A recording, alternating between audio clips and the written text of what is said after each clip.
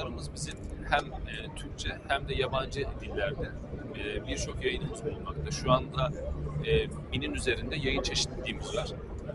E, aslında biz fuara gelmeden önce de bir çalışma yaptık. Şöyle ki e, fuara gelen vatandaşlarımıza da bunları dağıtıyoruz. Kitap ayraçlarımız var. Kitap ayraçlarımızın üzerine şöyle minik bir kare kod koyduk. Bu kare koddan e, okuttuğumuz zaman Diyanet İşleri Başkanlığımızın bütün yayınlarını burada görebiliyorlar. Burası bizim aynı zamanda da yayın satış.diyanet.gov.tr sitemiz.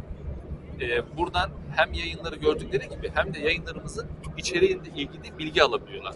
Hem kitabın teknik bilgileri, işte sayfa sayısı, boyutları, yazı tipi vesaire hem de kitabın konusuyla alakalı içeriğiyle e, ilgili küçük bilgilere sahip olabiliyorlar. Yani bilinçli bir şekilde de burada hem yayınımızı tanıyıp isterlerse de alışveriş yapabiliyorlar. Aynı zamanda şu şekilde de e, bu ayraçın büyük bir kare kodu var. Bu da e, Türkiye'deki bütün camilerimizde asılı.